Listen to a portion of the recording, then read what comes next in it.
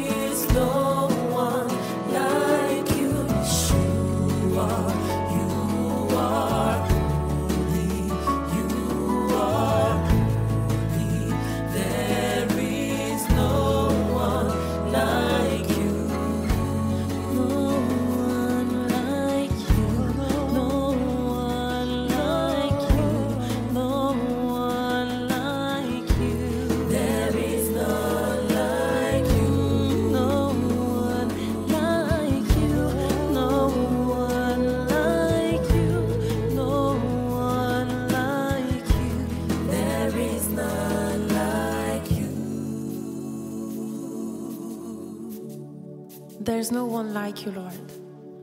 And all we want to do is to worship you. You are the great I am.